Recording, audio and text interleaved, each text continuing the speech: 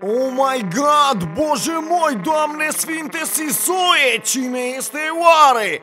De obicei ne-am deprins să-l vedem la costum, patru oace, cu mâinile pe piept și cu lumânarea între degete Dar acum el este călare pe motociclă, de parcă ar fi călare pe țară Cine este oare? Este Vlad Înjietu! Și a venit el însuși la sărbătoarea propriei sale înjieri alături de 7000 de membri ai bisericii Vlad Înjietoru. Foarte frumoase băiețele și fetițele Salut băiatul, te cunosc A urcat pe scenă și a ținut un discurs de zile mari Așa cum ne-am obișnuit Partidul Democrat tot timpul au interese altele decât să asigure stabilitatea ordinea și liniștea în țară, suntem suficienți de buni ca să ne creăm noi presiune externă.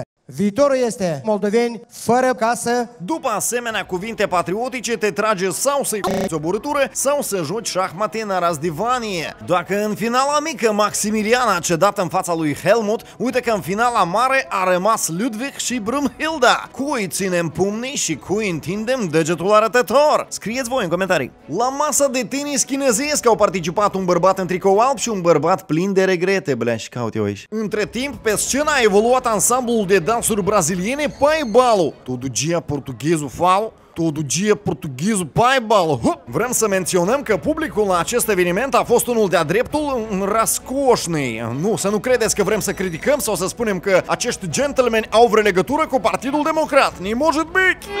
Vedeți să fac la guvern să vorbim! Asta nu-i vorba! Păi, dar dumneavoastră protestați!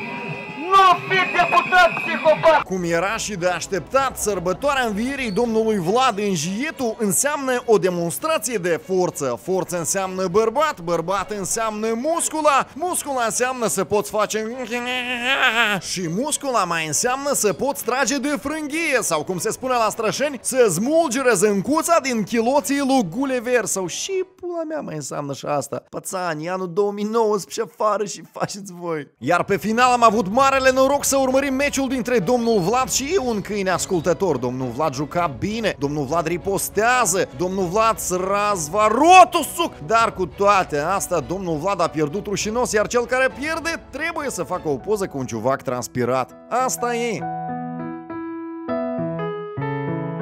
Atât pentru azi, prieteni! Felicitări cu ocazia sărbătorii învierii, ciocniți cât un ușor sub formă de Pavel Filip și ne reauzim la sărbătoarea înălțării! Pupicei!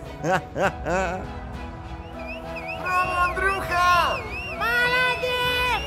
Дай бătaie, пацану, așa Bravo! Молодец, братану!